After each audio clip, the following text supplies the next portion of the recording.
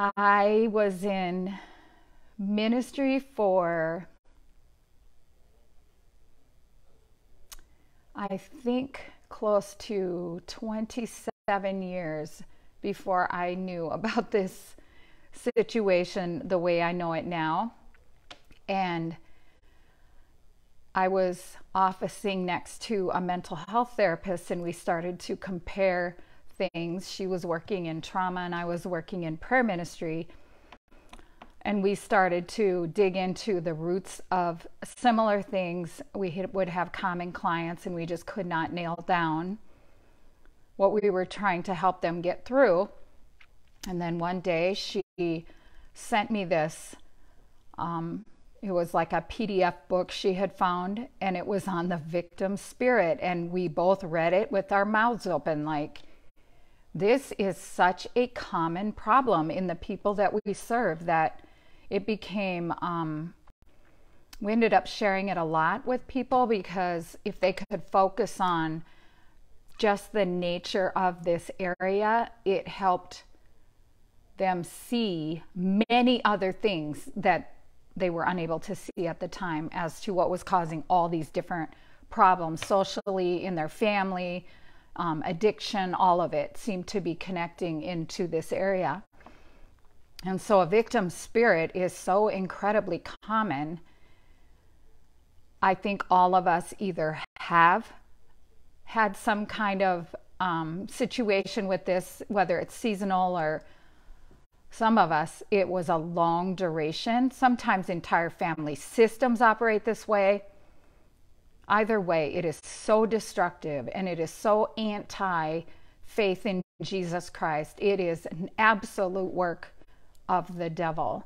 So I want to try to put as much explanation to how this looks and what your response to it should be. But this would be those who wallow in depression, self pity, self rejection, and self condemnation. People who just kind of stay in that mindset.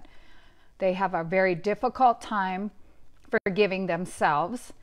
They continually push themselves and they continually feel like they're failing to live up to expectations themselves or of others, and they suffer from continuous torment themselves and outside, they just are sponges for torment. And people who have these types of qualities often have a victim spirit. And the Webster Dictionary defines victim as a living being offered as a living sacrifice, an individual injured or killed by disease or accident, a person cheated, fooled, or injured, either a victim of circumstances or accident prone. And this victim spirit can show up in finances, any relationships, work, ministry, and it settles for less. It has little or no joy. It dishonors and disrespects the person that carries it. It never walks in the honor that God calls one to walk in because God has already placed a price on us, and that is we were worth Jesus to Him. It doesn't even come close to recognizing that. A victim spirit is a way of looking at life that unknowingly attracts abuse and disrespect to you. It will also show these things in your life destruction. It has an unconscious, self destructive nature to it and makes people be very accident prone. It has a focus on injustice. It's consistently finding that you are in situations where the rules are being violated at your expense and there's absolutely nothing you can do to change it. It has a malpractice type appearance. It if you're trying to pick someone to help you, any kind of professional, buying a car, buying a house, you will always end up with the most problematic choice someone who's incompetent. There's some kind of professional flaw in them. It just draws that to you. It's devouring, it's constantly having people take advantage of you financially not being able to get a grip on your finances as a result because they're in disarray. You have constant emergencies that drain your bank account and keep you in debt. It also is a defilement.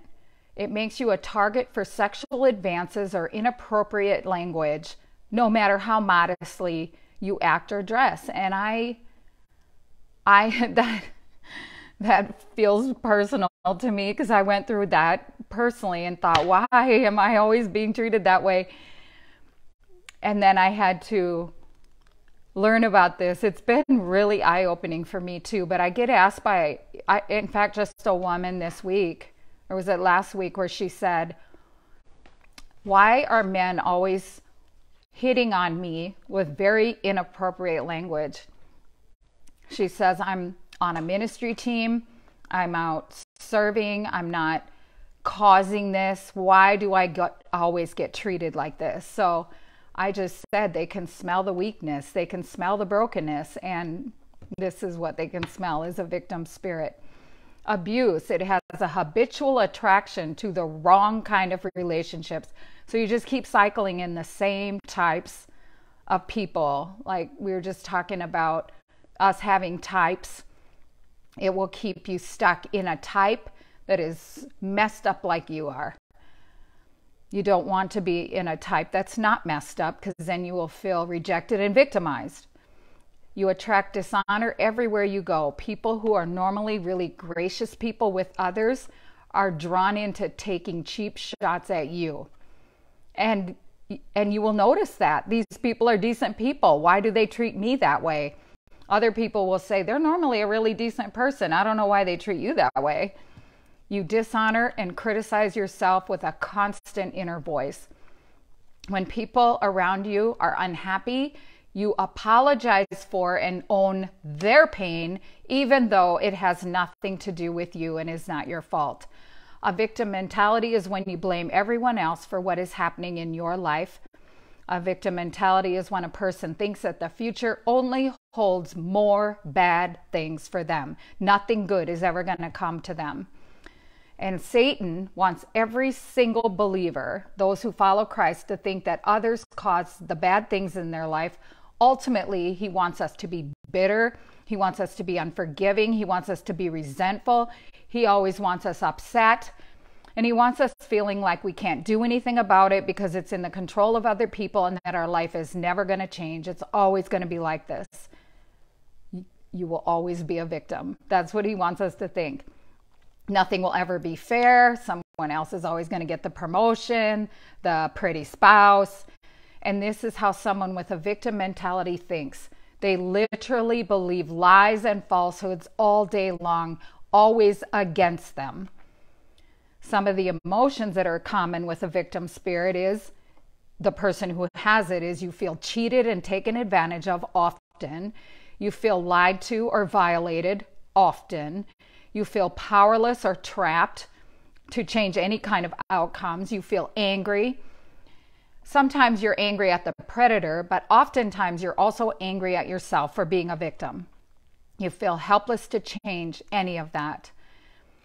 You settle for much less than what God has promised you. He certainly would give you more, but you won't accept it. You will never walk in the dominion that God said you could walk in because you settle for mediocrity. And you can end up angry, bitter, and full of resentment because you settle for mediocrity. Men are just as susceptible as women to this spirit, and maybe more so. I would say, in my experience, men have been far more aggressive in this spirit, spirit towards me than women have ever been. It is when a, when a man is operating in a victim spirit towards me, I actually can become afraid for my safety. So when men have a victim spirit, they invite disrespect and dishonor from others, and they find it almost impossible to love people as encouraged because they, when they feel disrespected or dishonored and they partner with a victim spirit, they become enraged. And then they pour out all of this rage on you. And half the time, you have no idea what even happened.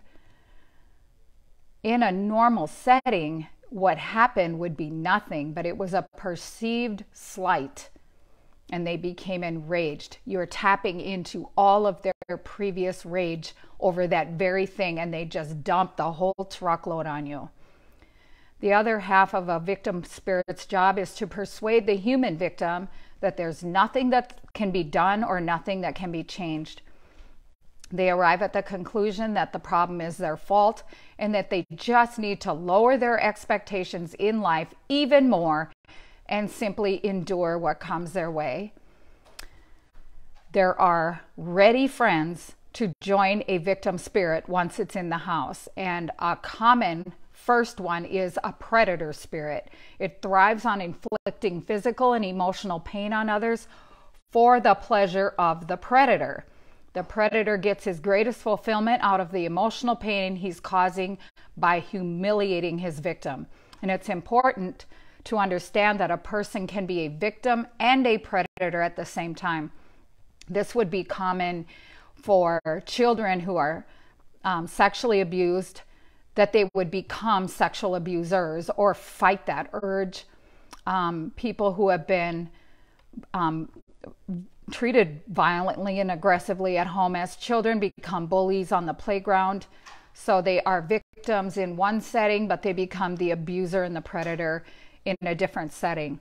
Another is the poverty spirit, and this demon works primarily with a person's mindset to keep them from accessing and possessing what God would give to them. A person cannot accept or keep the good things that come to them when they are operating in a victim spirit joined up with a poverty spirit. They feel uncomfortable surpassing others. They pride themselves in their humility they're usually simply unwilling to pay a price to achieve more. They are satisfied with far less than God's best for them, and they would rather make excuses about why they stay at that limited area than to actually succeed. Another is a spirit of jealousy. Many times it is small people who have not been willing to pay, pay the price to excel who become jealous of those who have paid the price. Their defense mechanism is to tear that person down, constantly try to absorb their what they have that this person wants, talk about them in ways that make people confused. They don't come directly out and slander them, but they say things that make people have doubt about this person. They choose not to grow into the spiritual stature or even work or whatever it is that they're jealous of, they aren't willing to put in the work. But they are very jealous of the person who has and feel entitled to what they have without having to put in the work. A very large number of the people of God actually fall into this category in many ways, and they could be greatly used by God, but they are being held captive by a victim demon. Their mindset revolves around the predator in their life. They simply don't even think in terms of being an independent person apart from this victim identity because they're always focused on the person who's aimed harm at them or caused this harm from early on or somehow the trajectory of their life is this person's fault because of this thing that happened when I was eight, things like that. The way the victim spirit operates is to cause a person to shift their thinking from believing who they are in Christ, which is an overcomer who is seated in heavenly places, to believe that they have lost their standing in the heavenly places. And the result of someone falling prey to the victim spirit is a choice and a lifestyle of blaming others. They don't take responsibility for any of their own actions, and this mentality is like a drug. It will make them feel good for a little while before it destroys them completely.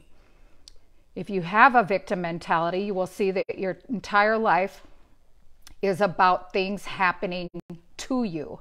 There's a combination of seeing most things in life as negative, beyond your control, and as something that you should be given sympathy for, treated with compassion, because you definitely deserve better than what you're getting.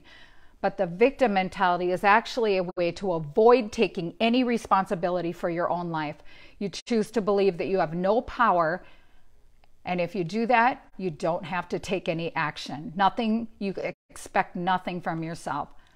And all of this bad in your life is the fault of other people. They're the ones that are bad or wrong or mean, and you are good and right and decent. Other people do bad things, your life suffers from the bad things they do. That's the belief system. There's a crucial distinction between being a victim and having a victim mentality because there is such a thing as innocent victims. There are people who suffer entirely because of another person's sin.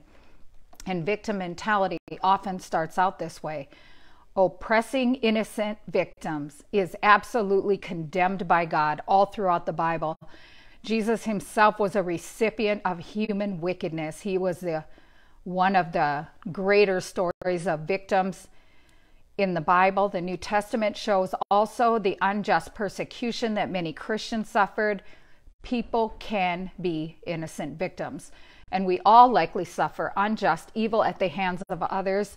Oftentimes, it's just part of being on this earth. But we have to become aware of moving from being an innocent victim to adopting a victim mentality. We need to affirm the reality of the suffering, but we do harm if we promote a victim mentality in ourselves or others. Psalms 10:14 says, "But you, God, see the trouble of the afflicted. Afflicted, you consider their grief and take it in hand.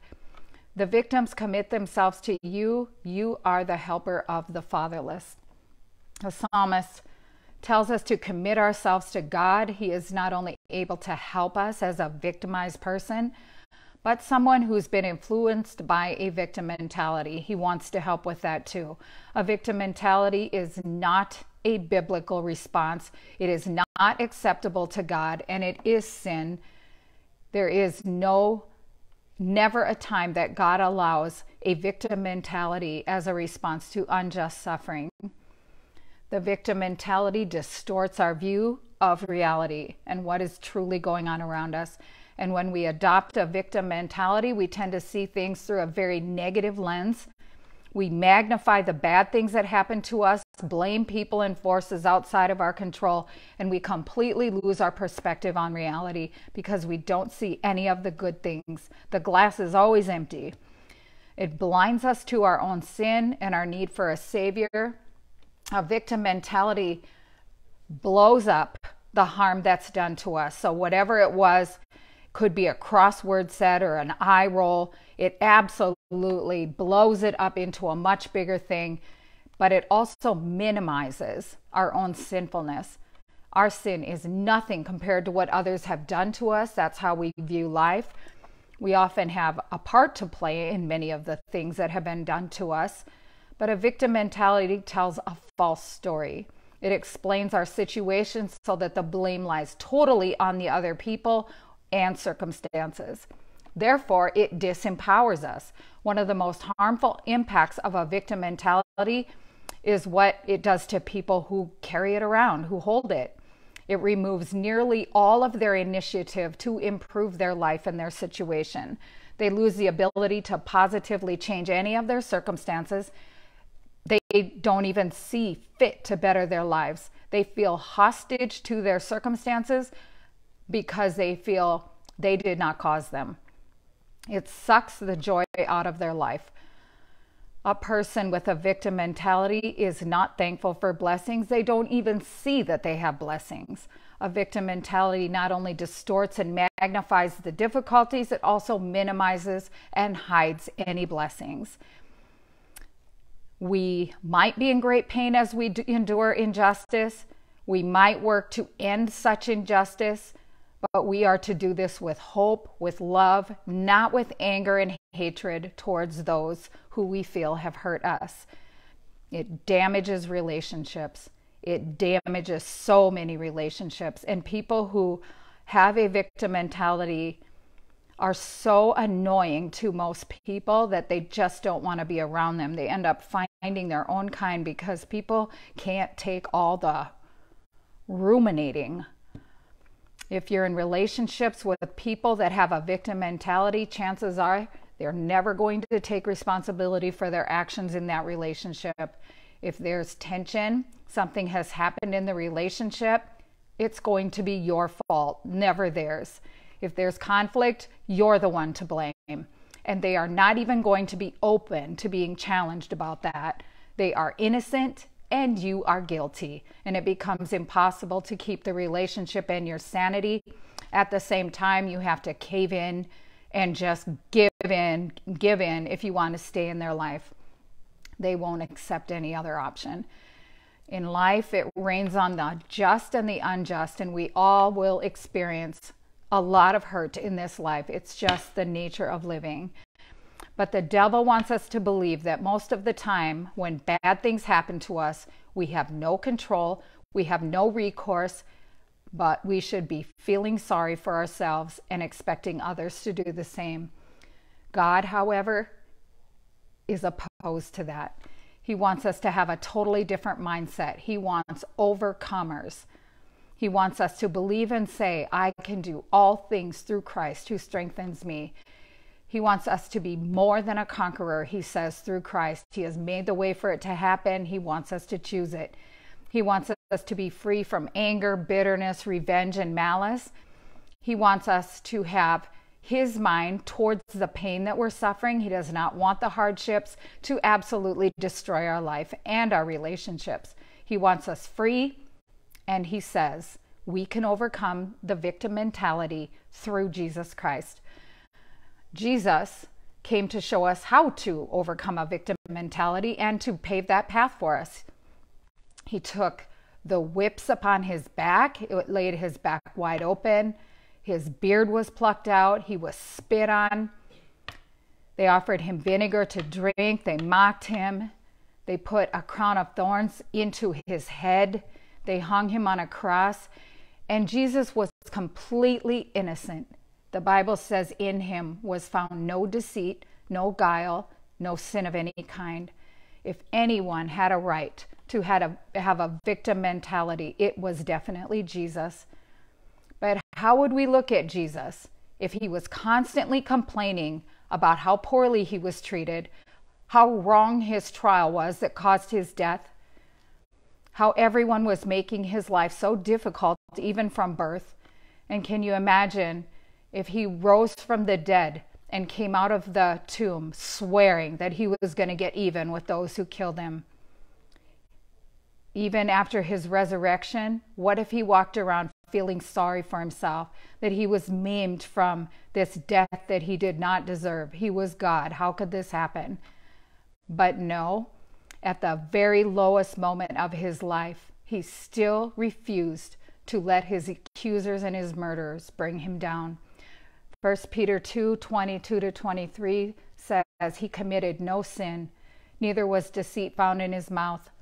When he was reviled, he did not revile in return. When he suffered, he did not threaten, but continued entrusting himself to him who judges justly. Jesus put himself in the hands of God, who will judge fairly.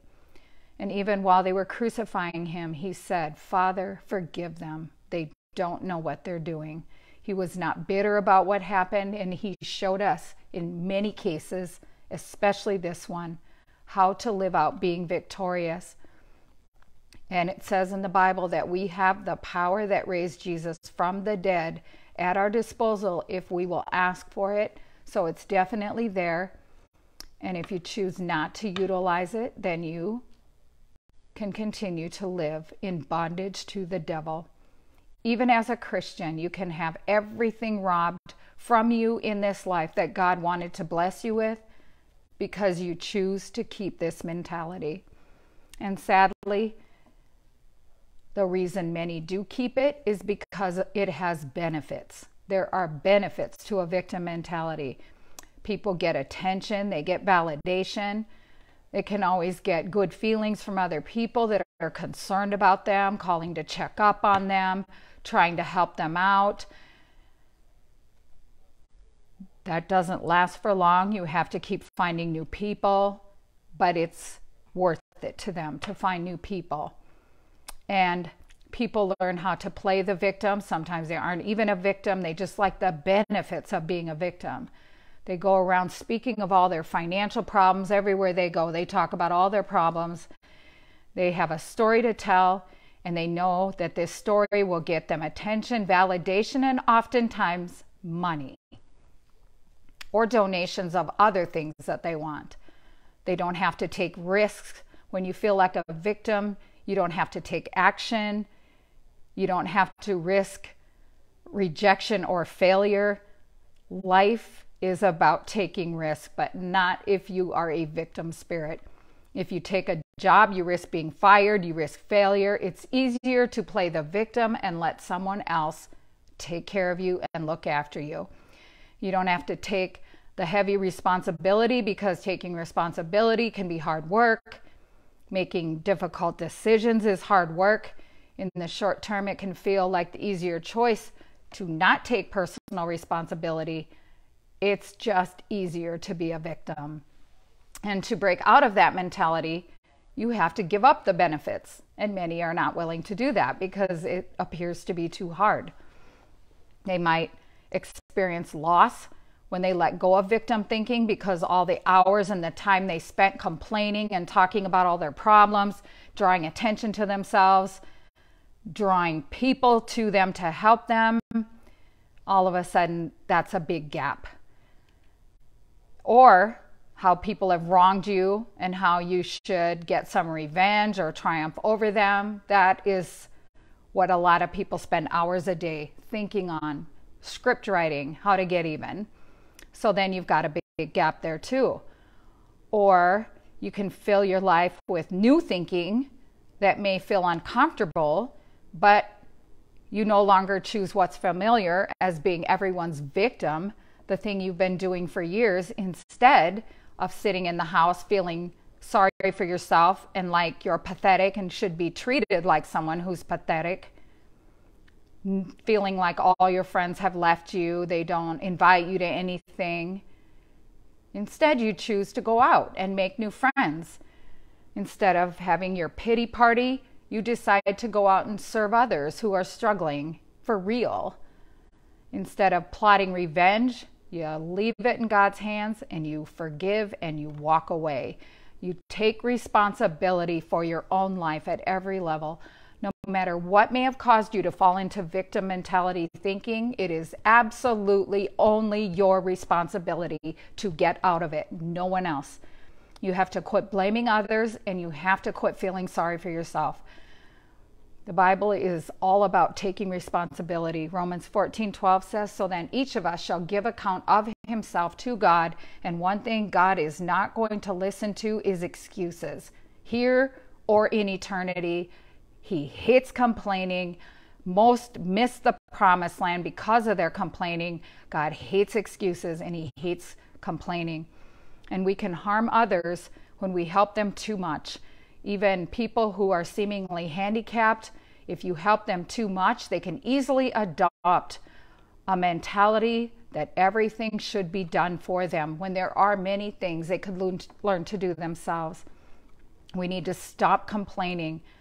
Much of complaining by one who is constantly being a victim is simply to get attention. The Apostle Paul told those in Philippi, in Philippians 2:14, do all things without complaining and disputing. God does not like complainers. Instead, force yourself to count your blessings. Forgive people. Catherine Ponder says when you hold resentment toward another, you are bound to that person or condition by an emotional link that is stronger than steel. Forgiveness is the only way to dissolve that link and get you free. This is why hatred is so emotional because you're stuck with them. You are you are tied to that person. And as long as you don't forgive someone, you remain tied to that person. You are completely intimate with them. Your thoughts will return to that person who wronged you over what they said, did, didn't say, didn't do over and over and over for years and years and years until you let it go and forgive. The emotional link between the two of you is so strong and inflicts so much suffering in you. It's so much inner turmoil. Most people, all the people around you, are very aware that you are trapped in this cycle that you could easily get out of if you would forgive and release them. You would not be stuck. You could have a life. You could have a great life. You could completely move on. They would not be trapped in your head, reminding you that you're a nobody all day. Sometimes in life, we have to face pain and deal with it, like more frequently than not, because hurts and offenses certainly come but you can be sure that when you forgive, God promises that you will find freedom from all the disappointments, all the unmet expectations. God has given us promises, and one is that when we forgive, when we bless our enemies, we will find freedom. God set it up that way. It always works. Hebrews 12, 12 through 15 says, Therefore, strengthen your feeble arms and weak knees. Make level paths for your feet so that the lame may not be disabled, but rather healed. Make every effort to live in peace with everyone and to be holy. Without holiness, no one will see the Lord. I think people don't read the Bible. They do not realize that holiness is a mandate for heaven. If you do not focus on living in a holy state of life, you are not seeking heaven as your eternal home. Holiness is a requirement. Without holiness, the Bible says, you will not see the Lord. See to it that no one falls short of the grace of God and that no bitter root grows up to cause trouble and defile many. So as soon as you feel that offense enter, immediately bless, forgive, and bless. Jesus asked a question to confront the victim mindset with the man, the lame man by the pool of Bethesda. Jesus immediately went to the heart of the issue it may look like he wasn't caring. He didn't ask for his story. He didn't ask, How'd you get here? How long have you been here? He said, Do you want to be made well? He cut right to the heart of the matter. Do you really want to be healed?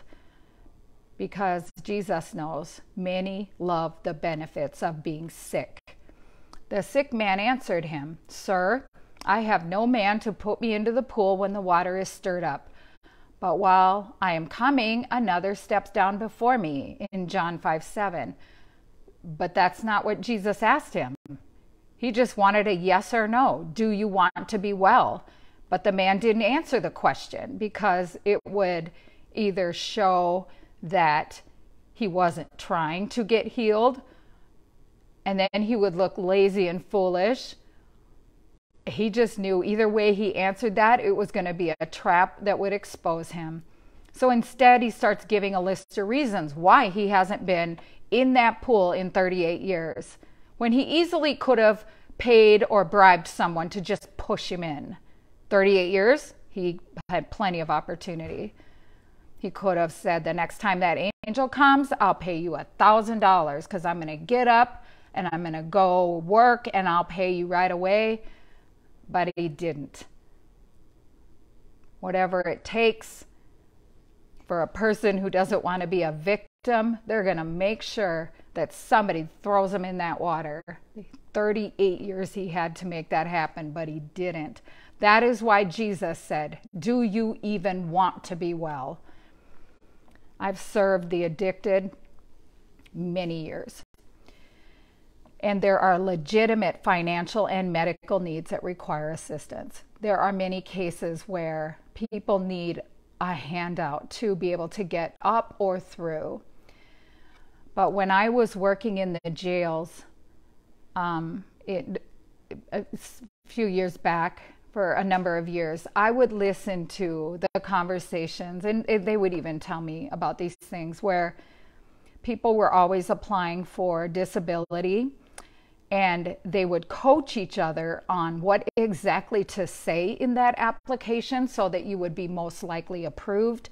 Because if you got the disability, then your rent's paid, you get medical insurance, you get food stamps, you basically get your life paid for. And so they're always teaching each other how to actually do that under a mental health diagnoses that they would then conjure up. They would they would develop these symptoms and a lot of it included hearing voices, things like that. They coached each other on what would work. And I would tell them, so why why would you want to do that though? Because if you get yourself labeled with that schizophrenic diagnosis, you're not going to get any great jobs. It's going to be real hard for you because that's a pretty limited it's going to cause a lot of people to move past you and they were like i don't care. Why would i even try to apply for a job if i could get disability? I said well for the rest of your life you will have that diagnosis. What if someday you come to your senses and you decide i don't want to be a slug. I really do want to be a good citizen supporting my family paying for my children I can't even think of one person that said, Oh, yeah, I don't want that. I cannot think of one. They help each other to write up what will get them the most money. They don't want to be healed. They actually want to be sicker. They actually come up with more symptoms to actually become sicker. They definitely don't want the healed life, or they want to be healed, but they don't want the healed life. They want to be healed to go do more of what they want to do, but not what God wants them to do. And we do see that frequently too, where they're seeking the blessings, but not the blesser. They're seeking the gifts, but not the giver. And Jesus found this man later in the temple and he said to him, See, you have been made well. Sin no more, or a worse thing is going to come upon you. In John 5 14. Jesus was making sure this man knew that he healed him despite his sin issues, which he had. But if he didn't watch out for the sin issues and deal with that, that was going to rise up again and he would end up even sicker than before. And I can't even tell you the thousands of times I have witnessed this very thing happen I look at my own life and I was in the worst state of sin when God healed me. I was absolutely, well, close to death from all of my sin when God healed me. And I knew when I got up, literally stood up, that I am never, ever going back to the hell I just came out of. And I haven't because I was so sick of it. I was so tired. I was so tired. But many talk about I've been Narcaned 15 times. I've been raced to the hospital and had my stomach pumped all these different times. It's almost like bragging rights how close they came to death and how many times to return right back to the wickedness that put them there in the first place.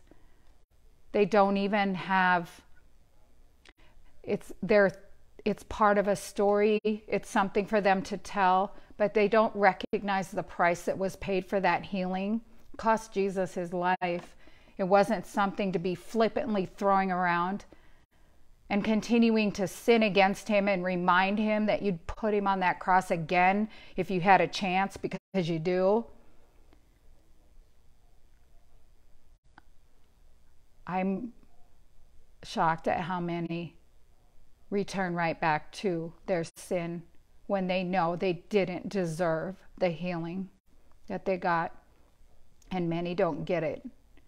They don't get healed. They go straight to eternity from their first overdose. They don't get Narcan, they don't get someone saving their life. Those of us who are alive should never stop thanking God that He didn't allow us to die because we deserved it. This group all of us who are out in this know they end up much worse than they were, and most will end up dying because they wasted their healing. And when we live as victims, one thing that is definitely in the house is unbelief. And unbelief is one of the most outrageous, offensive sins against God is to say, I don't believe what you're saying, God. It denies the possibility that our situation can be changed. This is people who say, I just don't believe it will happen for me. I believe it will happen for others, but I don't believe it will happen for me. Totally contradictory to the Word of God and who the character of God is. I'm not going to say what that thing is, but we should never operate in unbelief from a personal standpoint of because of me, it won't happen. And like the man who was healed, we need to understand that we need to live healed and free, not continue as a victim of our sin and our bondage. A major part of the healing process involves renouncing your sin, of being a victim, and becoming victorious in all of the things that got you so sick to begin with. Freedom from the victim spirit changes you from being dominated to having dominion. You can enjoy the presence of God, something you couldn't even experience before.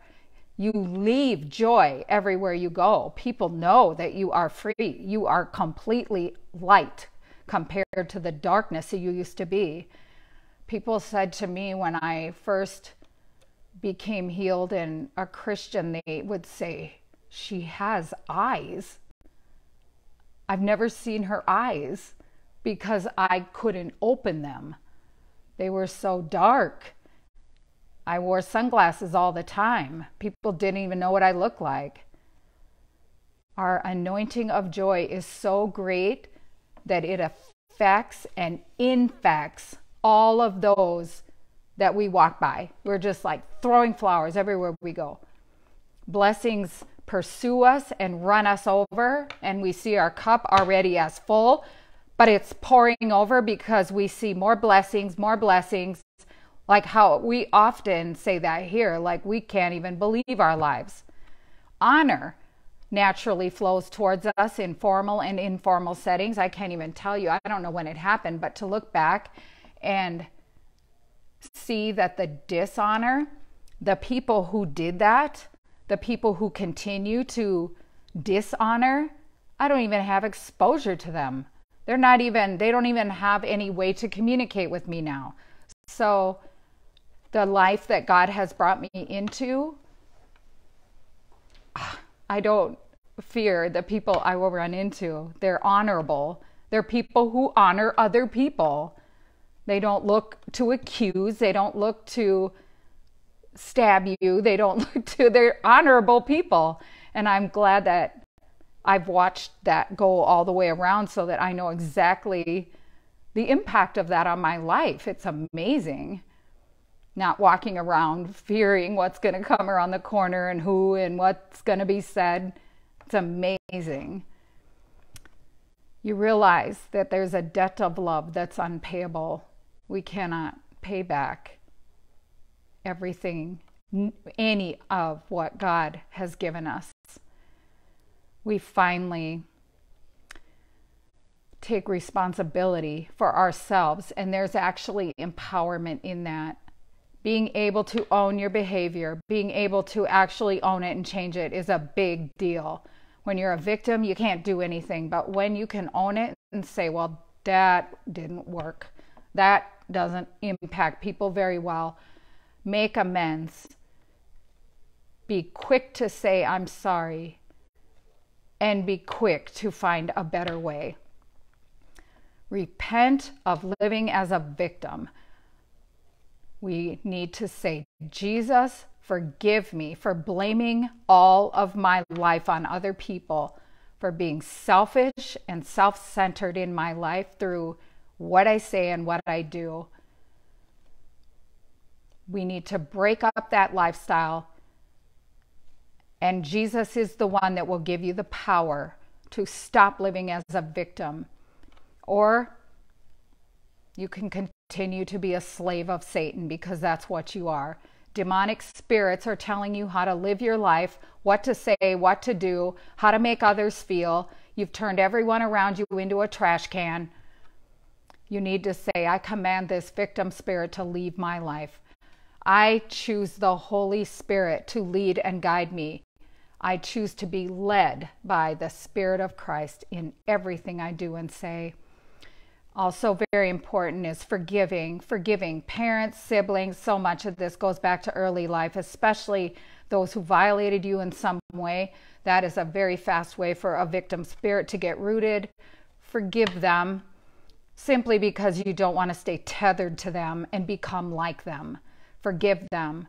Those who force themselves on you, who hurt you by words or actions, forgive them. You may not have understood that, but now you do. Forgive them to get separated from that.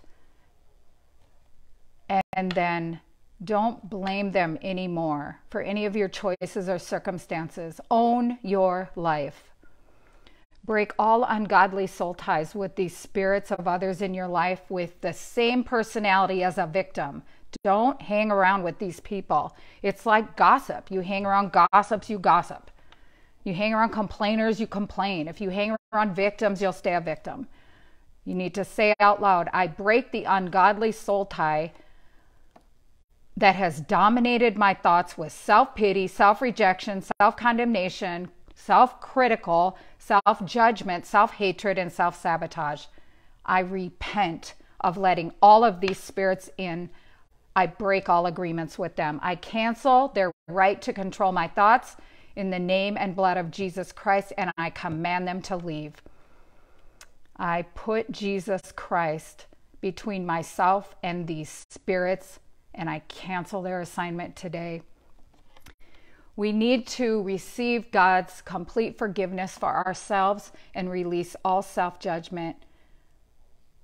So receive all forgiveness from God. He's got enough to cover every single sin till the end of your life. Receive it and release the judgment you have over yourself because it's it's completely against what the cross was for for you to go around with self-blame after the cross covered your sin.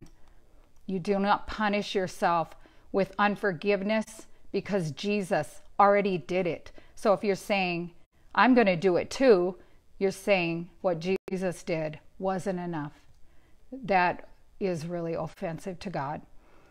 See yourself through the eyes of Jesus Christ. Ask Him to give you a humble view of yourself, a humble view that is an accurate view in Philippians 2 3 through 9, we're encouraged to follow the example that Jesus set for us so we can understand who we are in Christ, that we can accept our strengths and weaknesses. We don't need to punish ourselves. We are loved and accepted by God, knowing all of our faults. We should not set unrealistic goals for ourselves when we already know that's not a strength in our life. High standards are good, but don't set them high in an area where you don't think you can accomplish them. Be reasonable with your own gifts and weaknesses. Ask God to wake you daily with wisdom and to open up your understanding to hear and see the way He does and make a firm choice. Many don't do this. They choose to give their life to Jesus until they choose to go back to self and then they choose to give their life to Jesus until they choose to go back to self many times, over and over. This is not the gospel. We don't get the right to do that. You either give your life to Jesus or you stay yourself. And if you go back and forth, that keeps you in control. You have not given your life to Jesus. You say, I choose to live my life as a child of the Most High God. I'm seated in heavenly places with Christ. I am not the tail, I am the head. I have the mind of Jesus Christ. I align my will to the will of God, and I am an overcomer. So, living with a victim spirit is optional because they can be identified and evicted. And obtaining freedom from this demon spirit will require God's power. You cannot do that in yourself. And God delights in showing up in power to free us. He's not interested in just helping us survive. He wants to partner with us in releasing His power into the world around us. And this mandate is about building up and expanding His kingdom. That's what we're for, not just survival. So we must, as an act of our will, choose to walk in the truth, even if it's very uncomfortable to start that. It takes very deliberate choices to override the mindset that was always being victimized. And this stronghold is generally stronger, actually, than the demons that it keeps. The, the demonic is easily evicted but it's the mindset that has to be replaced with truth. So you really have to work to change your thoughts. And this mind renewal is accomplished through inner healing. That's something we do here. We're always very um, willing to help with that, a process of having the Holy Spirit show you where the lie is, give you the truth, and once you know the truth, you will be set free. Ezekiel 34, 28 through 29 says, And they shall no more be a prey to the nations, nor shall the beasts of the earth devour them, but they shall dwell safely, and none shall make them afraid. And I will raise up for them a planting of crops, and they shall be no more consumed with hunger in the land, or bear reproach of the nations any longer.